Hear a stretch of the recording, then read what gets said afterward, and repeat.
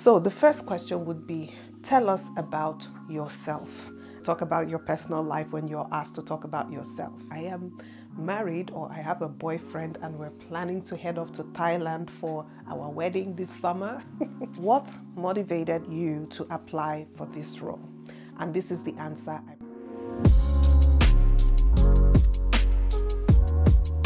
Hello, my loves. Welcome back to the channel. My name is Chioma, just in case this is the very first time you are seeing this face. So, welcome to episode three of the Jobs series. How has it been so far? I hope you've been enjoying it. You've been taking lots of notes and you've been gaining a lot of knowledge from these videos. Okay, I aim to please. Anyways, in today's video, I am going to be talking about interviewing. So, interviewing like a pro, right? By the way, if you've just landed on here for the very first time and you're wondering where you can find the other two videos in the jobs series, please go back into my channel. There's a playlist, but as well, I am going to leave links in the description box to the previous two videos. And so it's a natural progression, isn't it? After you have submitted an application, you get ready for an interview. I always have my notebook here, so I'm going to be referring to it because there's a lot to say on here.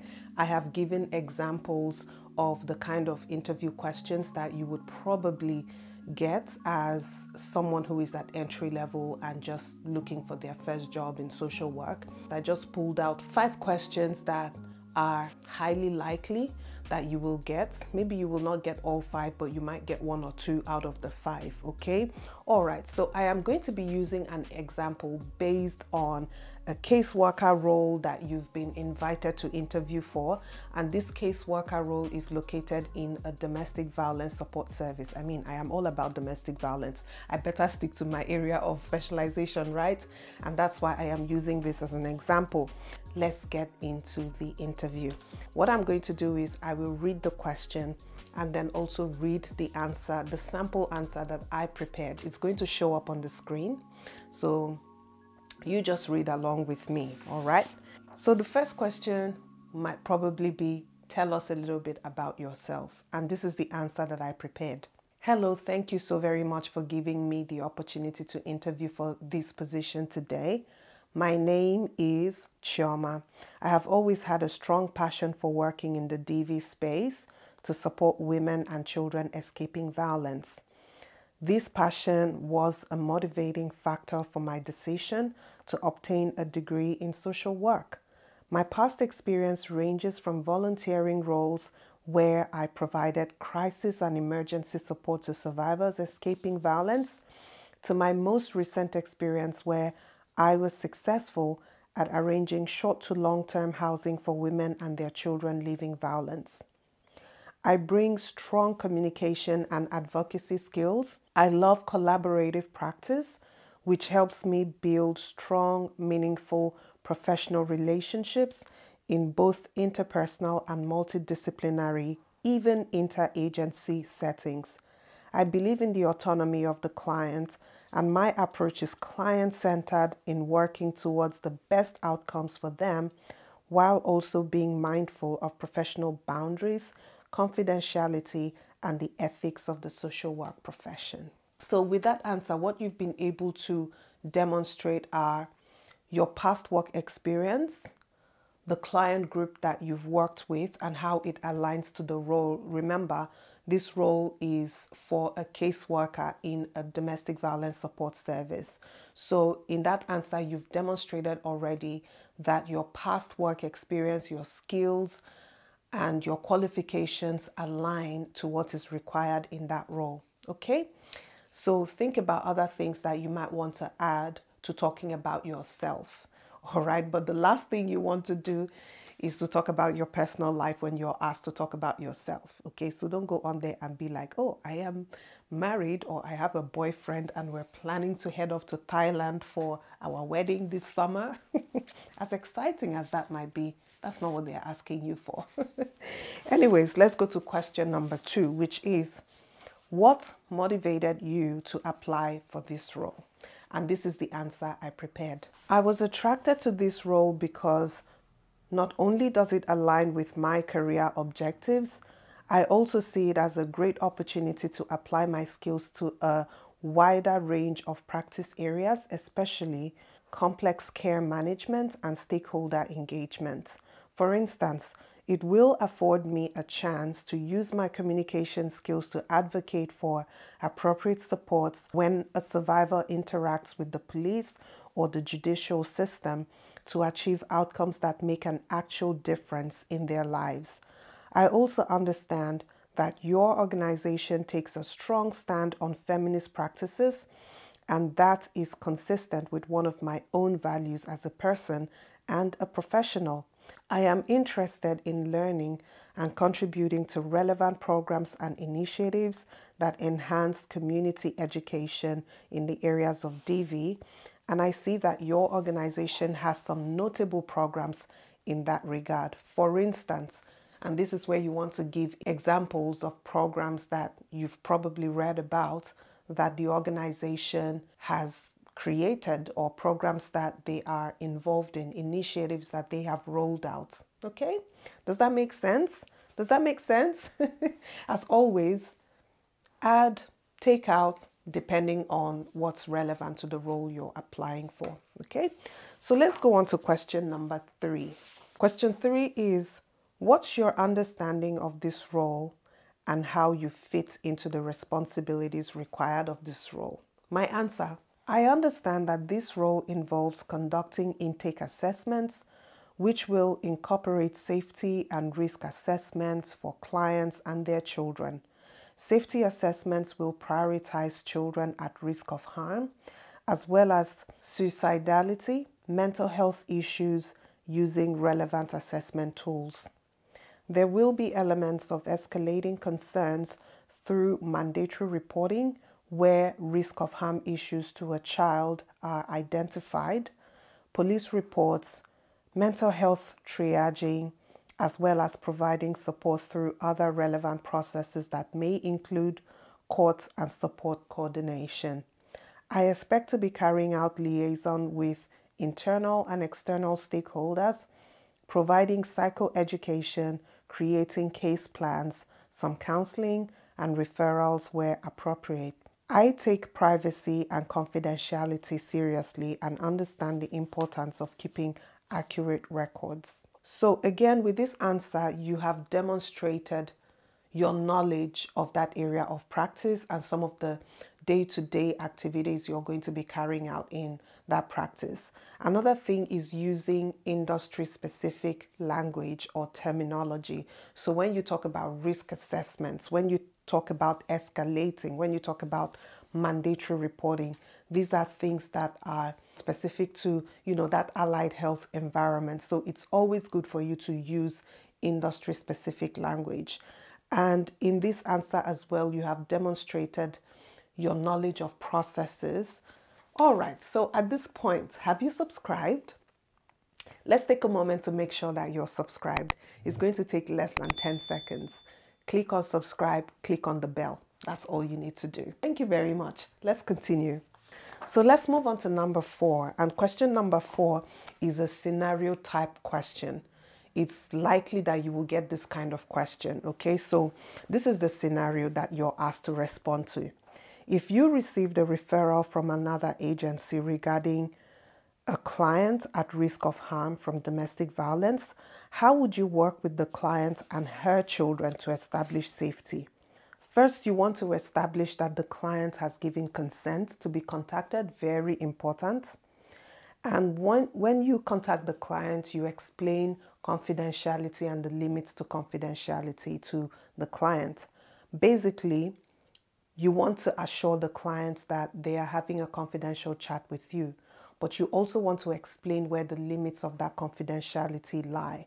For instance, if a client discloses anything that suggests that there's a risk of harm, an imminent risk of harm, imminent is the key word here, an imminent risk of harm to themselves or the children in their care or to someone else, then there's a limit to confidentiality around that kind of situation. It means that you might have to escalate immediately to the police or other protective services around, or even to maybe a mental health access line. Here it is called the mental health access line, but it is just sort of like an emergency response line for mental health related concerns. Okay, so you need to explain that to the client from the very beginning.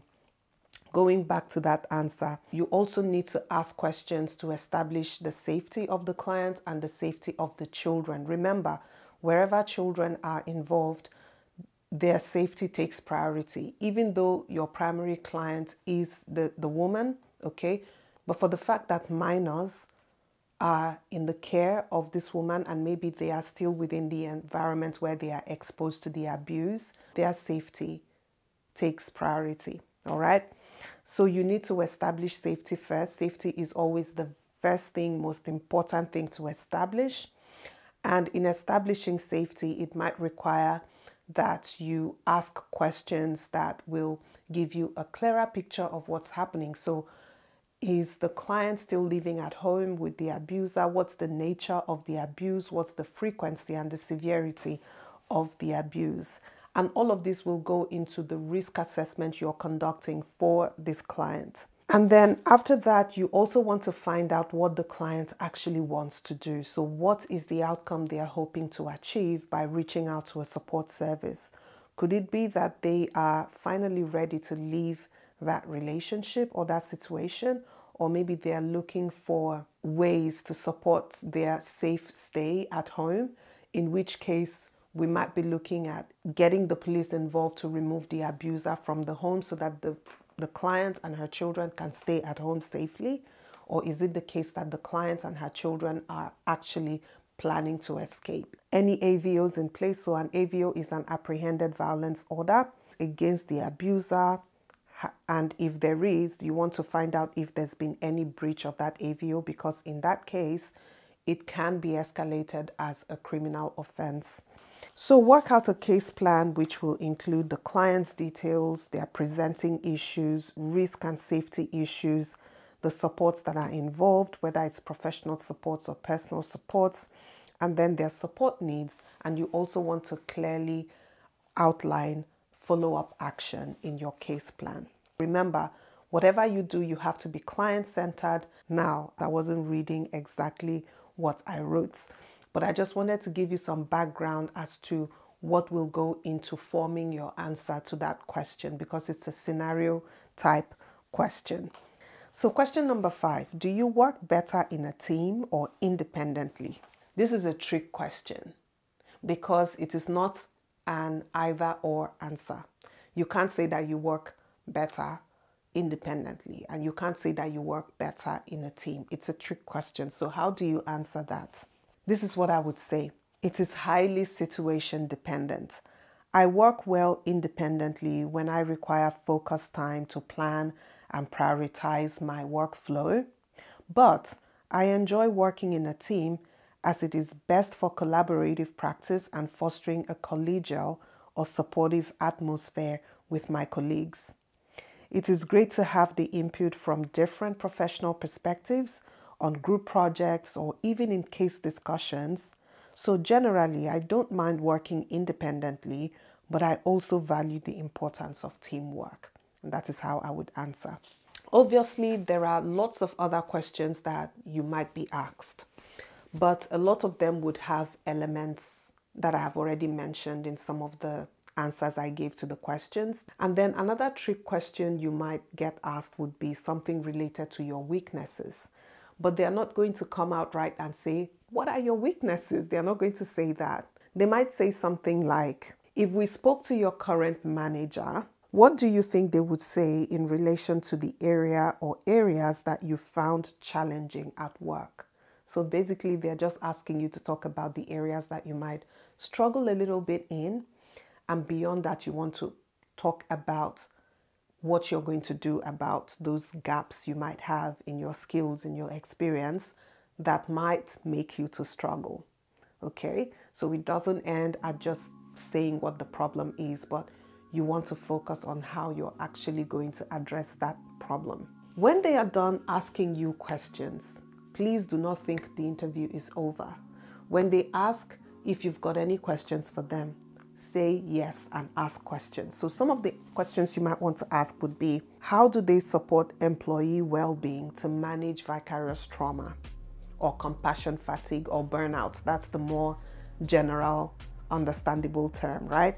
So, how do they support employee well being to manage burnout? Another question that you might ask, and I actually like this question because you know, it's just as tough as the questions they've been asking you during the interview. So you might ask them, what's their biggest challenge with their target client group in terms of budgetary limitations that create gaps in their service provision? Ask them. I'm not going to give you any answers around this. It is up to them to answer that question, all right? And then ask any other questions that might come to mind. The only rule of thumb that I would mention here would be not to ask any general knowledge questions. Anything that you know is public knowledge about that company, don't ask that question. Actually, it puts you in a very bad light. It means you didn't do your research. Don't ask those sorts of questions. You can ask questions like, okay, what does a day to day look like in this role? What sorts of things can you expect to be doing on a daily basis? What are the key presentations of their client groups or the most common presenting issues with the client group that the company works with? So you can ask that kind of question. I'm sorry, my voice is giving out again, so I'm just going to have a drink of water. But actually, we've come to the end of this video and the end of episode three. So there's only one more episode left in this series, and I am not going to give any information about the fourth one because it's a surprise. It's a surprise. you want to stick around for that. But I hope this has been helpful. I hope that with all the three videos that I have made so far with, within this series that there's been a lot of information and a lot of knowledge you've gained from these videos. Please, again, remember to give this video a thumbs up Thank you for sharing with your friends and thank you for subscribing. I'll see you again in my next video. Bye bye.